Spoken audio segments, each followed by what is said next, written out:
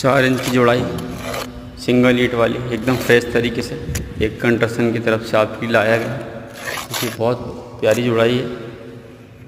Single ईट की जिसे कहेंगे अपन। बहुत प्यारी है।